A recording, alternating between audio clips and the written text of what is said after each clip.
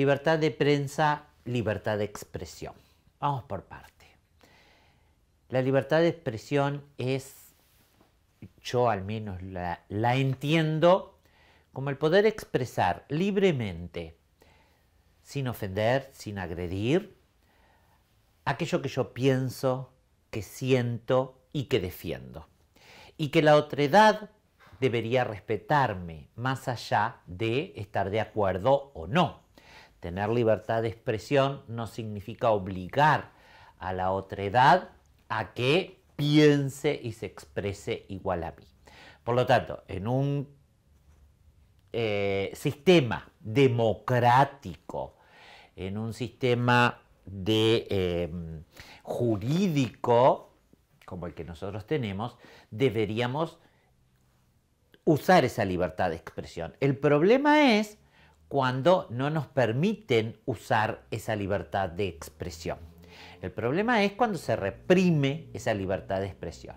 Y ahí es donde entran los medios de prensa. y la, otra libertad, la libertad de prensa.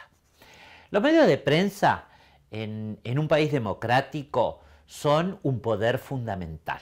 Realmente son el cuarto poder y hemos visto cómo se han convertido en el cuarto poder.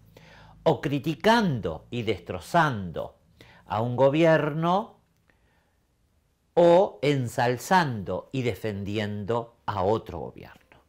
Por lo tanto, ahí no hay libertad de prensa. Ahí lo que hay es, yo diría, dictadura de los poderes o de los poderosos que manejan la prensa. Y estos poderosos que manejan la prensa son quienes están de acuerdo o en desacuerdo con un gobierno según el color de ese gobierno. ¿Qué sucede? Si no hay libertad de prensa, entonces no hay libertad de expresión. Porque la libertad de prensa significaría que ante un hecho, ese medio de prensa debería presentar todas las campanas, todas las voces, todas las opiniones y que el público que esté consumiendo ese medio de prensa tenga la libertad de elegir con qué opinión se quiere quedar o de sacar sus propias conclusiones.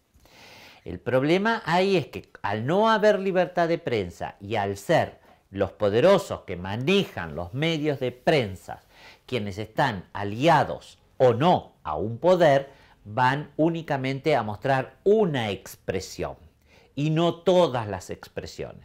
Por lo tanto, ahí también se coarta la libertad de expresión. Es por eso que yo creo en la regulación de los medios de prensa y creo firmemente en que los medios de prensa deberían, primero que nada, ser objetivos y primero que nada valorar la diversidad de opiniones y mostrar la diversidad de opiniones. En un país democrático, la prensa no, no puede jamás aliarse a un poder, a un gobierno, y la prensa debe garantizar la libertad de expresión.